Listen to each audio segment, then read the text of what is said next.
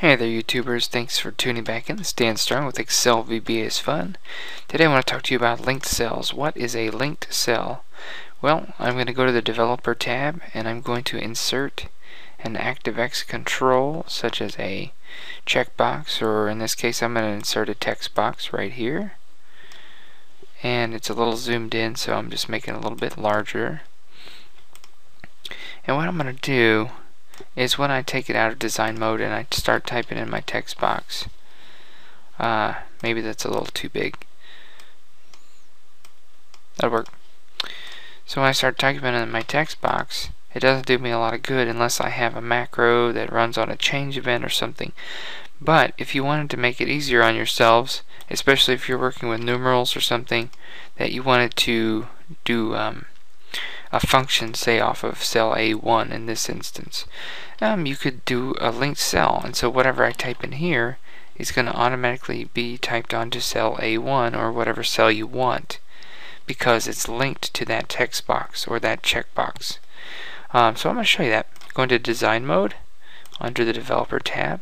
If you right click and hit the letter, excuse me, right click and hit the letter I for properties or click on properties so again, show that show you that again.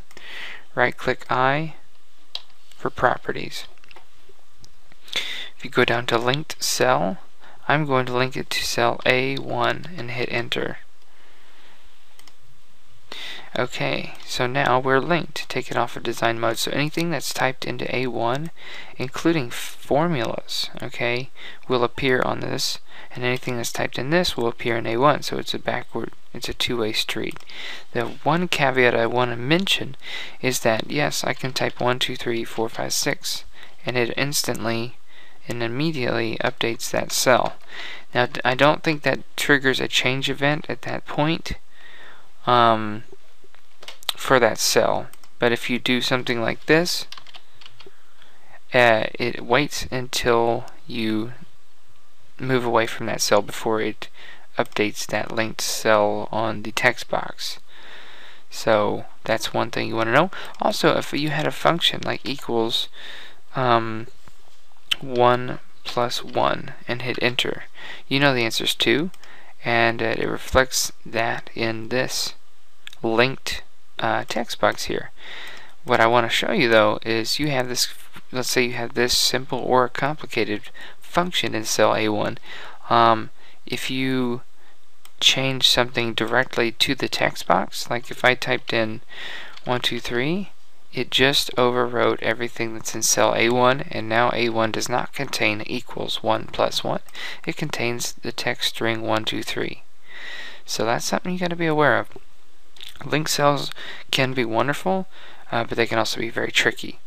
So that's the thing I want to tell you is whenever you type in a text box it's linked, it's going to overwrite your beautiful formulas. Now let's say you had a label. Uh, I don't actually I don't think the labels um, I don't think they have a linked cell. No, they don't. So that's another thing you need to be aware of is um, if you're going to do, let's say, a, a, a linked cell with a text box, you may want to change the enabled to false, and uh, meaning that they they cannot type in the text box. It's more of a label type of thing, and uh, they can only, you know, update this ASDF and it updates the text box. And you could have the text box be on another sheet even. So I'm going to hit, hit Control X and put it on sheet 2. Control V to paste.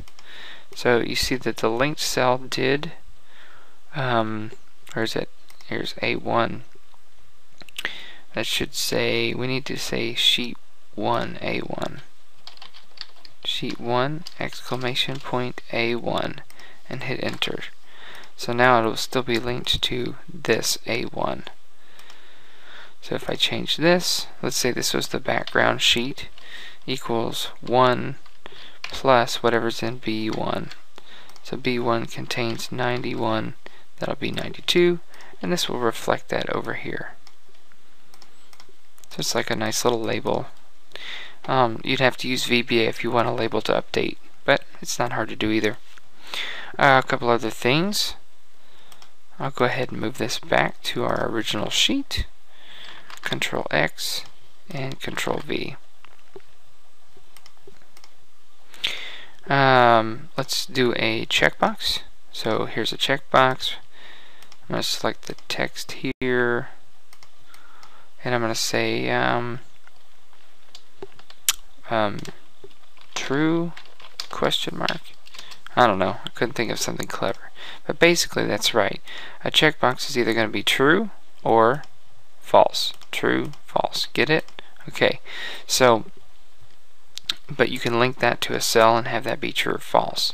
So let's do that. Design mode. And we got the properties open still. So let's make the link cell to this be A2. A Okay, here's A2. Sorry, I have um, I have Type Pilot open, so it's giving us troubles about that. So when I click on this, true, false, true, false. So it'll always reflect whatever's going on here. Now, and also, if somebody were to change, or if there was a formula right here, um, if I typed in the word true, it would reflect that because this is linked. So what's useful about that? Let's say this was um, inactive or active status, you know, and they they said no, they're inactive now. So you could do a formula based off of that cell. So you could say if that cell is true, then say the word active. Otherwise, inactive. Okay? Oops. I didn't mean to hit enter, but I did. So this would be inactive. Now check this out. I'm going to change the linked cell to B2 for this one. And so whenever I change this, I'm thinking that that should say active or inactive in the text box there. And it does. It reflects whatever's in B2 based off of what's going on here. So there's lots of applications for this. I really don't like uh, making a text box disabled by making the enabled property to be false. I find that it's ugly because it forces the font color to be gray no matter what you try and it's squirrely. Um, so, but um, there's a lot of things that you could do with that, especially if you wanted like a, a dashboard type of thing going on. You could have uh, text boxes and check boxes and things of that nature on uh, your front page, and then you could have things like this working a few simple functions in the background on say a sheet 2 or something that you you know hide that kind of a sheet so you could have all the data running in the background. So that's kind of my, my very very short um, spiel on what you can do with uh, link cells. Maybe if you guys want to put a comment about what you use link cells for. Um, but it's a pretty powerful tool. So uh, anyway, thanks for watching and God bless.